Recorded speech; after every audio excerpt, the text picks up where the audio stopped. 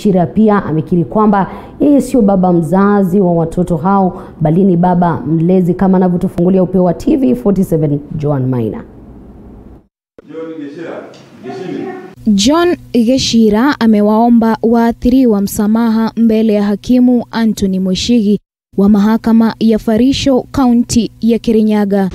Hii ni baada ya kukiri mashtaka dhidi yake kwa mara ya pili kutoka kikao cha kwanza cha kesi hii cha tarehe tano mwezi huu aliposhtakiwa kuwapachika mimba wanawe wawili. Fanya makosa na hakuna mtu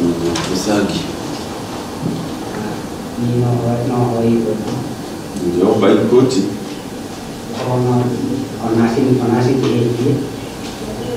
hata hao wenye nimekosea amani. Mshtakiwa pia akidai kuwa watoto hao sio wanawe bali yeye ni baba mlezi tu. Umekubali mashtaka ambayo yanakukabili, sio? Ulikubali. Ningependa nikuonye wewe kwamba ukikubali haya mashtaka unaweza kufungwa jela maisha. Unaelewa hivyo?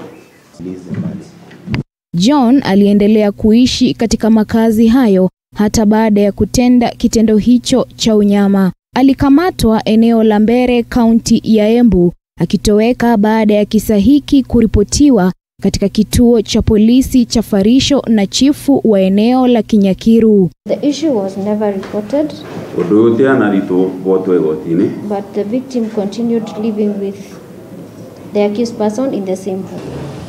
Hakimu Anthony Mwishigi amesema kuwa John ataendelea kuzuiliwa katika kituo cha polisi cha Sagana hadi tarehe 14 Januari ili kuipa koti muda wa kutoa uamuzi wa kesi hiyo.